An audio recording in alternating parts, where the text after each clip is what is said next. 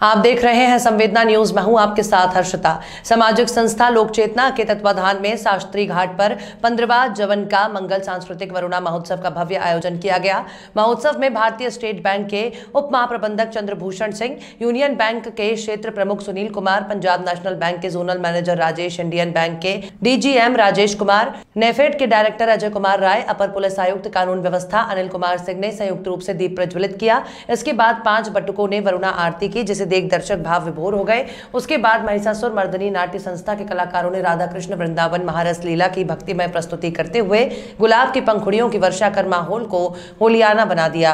वहीं लोक चेतना संस्था अध्यक्ष के के उपाध्याय ने बताया कि हम लोगों ने 2007 से बनारस में नई परंपरा की शुरुआत कराई थी। होली त्योहार के बाद तीसरे मंगलवार को वृहद शास्त्री कार्यक्रम जीवन का मंगल, जो सांस्कृतिक मंगला महोत्सव के नाम से जाना जाता है, शास्त्री घाट पर प्रतिवर्ष मनाया जाता है। यहाँ पर पूरे पूर्वांचल से कलाकार अपने विभिन्न कलाओं का प्रदर्शन करते हैं जिसे आम जनता काफ़ी सराहती है। इस कार्यक्रम का उद्देश्य था उभरते कलाकार को मंच प्रदान करना। बनारस सांस्कृतिक राजधानी है। संस्कृति विधाओं को आगे बढ़ाने का काम किया जा रहा है। इस कार्यक्रम से हम यही संदेश देना चाहते हैं कि हमारी काशी विश्व की सांस्कृतिक राजधानी है। संस्कृति को बढ़ावा देने के लिए सरकार को प्रयास करना चाहिए जैसे हमारी संस्थाएँ प्रयासरत हैं। लोक चेतना प्रयास करके इसको आगे बढ़ा रही है। परिचय बताइए। के के उपाध्याय अध्यक्ष लोक चेतना। हम लोगों ने 2007 में बनारस में एक नई परंपरा की शुरुआत कराई थी। होली त्यौहार के पश्चात तीसरे मंगलवार को बृहद सांस्कृतिक कार्यक्रम जवनका मंगल सांस्कृतिक बंगला महोत्सव के नाम से जो ये शास्त्री घाट पर प्रतिवर्ष किया जाता है। आज होली त्यौहार के बाद तीसरा मंगलवार है।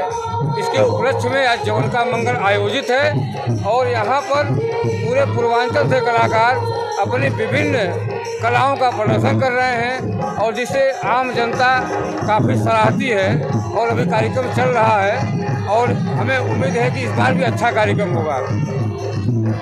कितने छोटे छोटे बच्चे इसमें जो है प्रतिभागी इसमें देखिए इस कार्यक्रम का उद्देश्य था कि जो उभरते हुए कलाकार हैं उनको मंच प्रदान करना जिस उद्देश्य से ये कार्यक्रम चलाया जा रहा है, और अभी आप देखेंगे तमाम बच्चे जैसे आठ साल, सात साल के जो बच्चे, वो भी इस इस कार्यक्रम में इस मंच पे आते हैं। देखिए, पीछे सब लड़के तैयारी कर रहे हैं। अपना कैमरा घुमा के आप देख सकते हैं, सैकड़ों बच्चे खड़े हैं।